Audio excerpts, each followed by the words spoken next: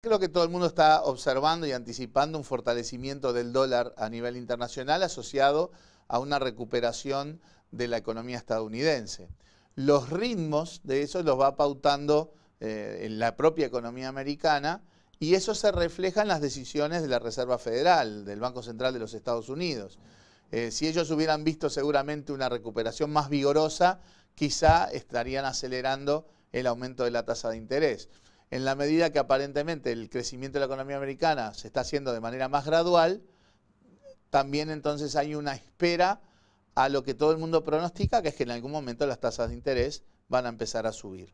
La tasa de interés cero, que rige desde hace 5, 6 años, 7 años, no va a durar para toda la vida, eso era evidente, eh, pero como vemos, tampoco hay apuro en hacerla comenzar a, subir, dado el contexto económico de, los Estados Unidos.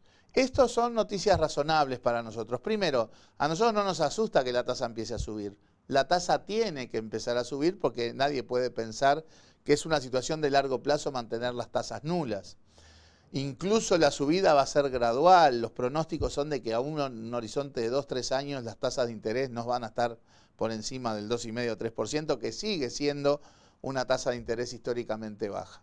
O sea que desde el punto de vista de las condiciones estructurales de largo plazo en el terreno financiero internacional, subir las tasas de interés, fortalecer el dólar en ese sentido es avanzar hacia la normalización de las condiciones financieras internacionales. Lo normal no era lo que pasó estos años, con un dólar desplomado y las tasas cero. Esas eran circunstancias excepcionales. entre comillas excepcionales porque llevamos 6, 7 años con esas circunstancias.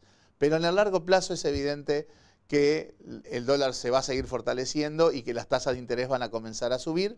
Y reitero, eso no nos perturba, estamos preparados eh, económica y financieramente para eso porque creemos que ese es un proceso de normalización de condiciones financieras a nivel global.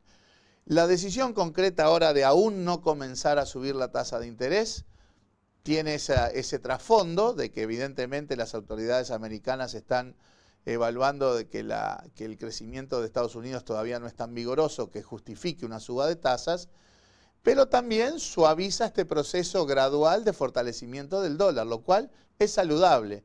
Que el dólar va a seguir subiendo, va a seguir subiendo. Y lo mejor que nos puede pasar es que ese proceso se haga lo más gradual posible para que en el contexto de la flexibilidad cambiaria que tenemos en el Uruguay, todos los agentes vayan acomodando sus balances, sus portafolios, su situación a un dólar que se va fortaleciendo, pero que lo hace sin saltos, sin cosas abruptas, sin un, salto desmedido, sino más bien de manera gradual.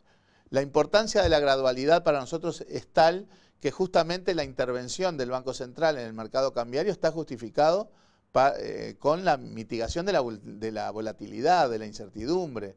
Eh, nosotros creemos que tenemos que respetar los fundamentos que indican que el dólar se va a seguir fortaleciendo, pero que no es necesario que esto se haga como en una montaña rusa. Uno necesita suavizar esa volatilidad y lo hacemos con el proceso de intervención ahora que el dólar sube exactamente con el mismo criterio que lo hicimos en, la intervención en el proceso anterior cuando el dólar caía. El dólar antes tenía que caer y se iba cayendo, pero sin, tratamos de que eso fuera sin volatilidad y sin apreciación excesiva de nuestra moneda.